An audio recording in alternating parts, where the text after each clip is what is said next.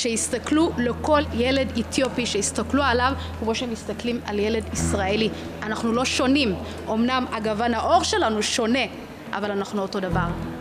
יום המאבק לשוויון יוצאי אתיופיה התקיים בכנסת לאחר כשנתיים מאז המחאה הגדולה. במהלך היום התקיימו ועדות שונות בנושאים המהותיים לקהילה האתיופית. בוועדת החינוך והתרבות עסקו בנושא סגירת פערים לימודיים בקרב תלמידים יוצאי אתיופיה. יש תוצאות של המיצבים ולצערי לא, חוש... לא התארגנתי ולא הבאתי את זה לכאן, ישנם תוצאות של מיצבים שמראות שיש התקדמות יפה.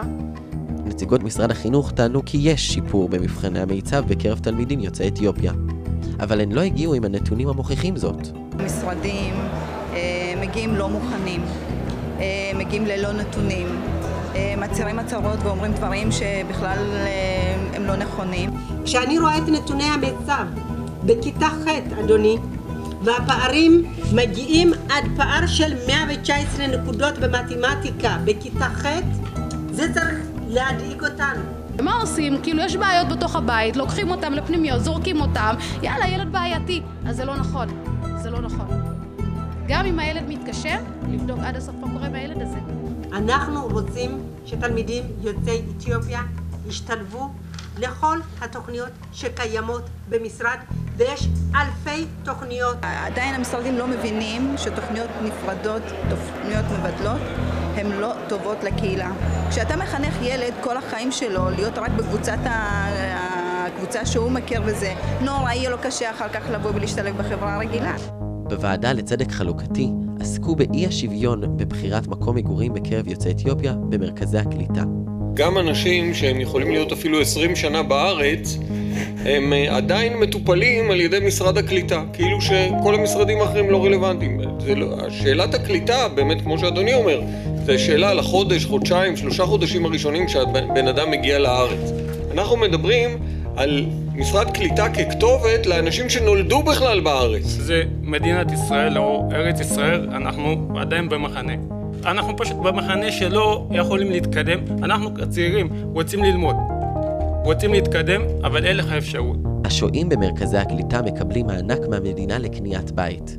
אם תגור במקום שהמדינה בחרה בשבילך, תקבל מענק גדול יותר.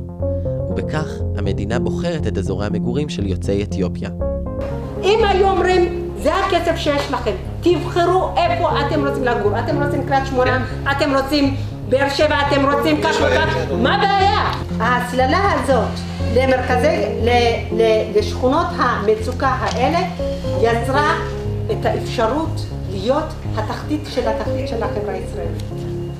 אני אומר לכם, הכסף זה לא הבעיה. הייתם יכולים לעשות את זה כי אותו סכום שאתם משקיעים להחזיק מרכז הקליטה יכול להיות בקלות להשלים את המשכנתאות וגם את המענקים. אנחנו נמצאים בכנסת ישראל וגם כאן יש הסללה. אמרו לי פנינה, מה הדרגה הכי גבוהה של יוצאי אתיופיה בכנסת? ניחוש. סדרן. והגזענות שנמצאת בתוך המוסדות האלה ובתפיסות המעוותות של מקבלי החלטות היא, שו, היא זו שמייצרת את מה שאנחנו מתמודדים איתו מדי יום ביום.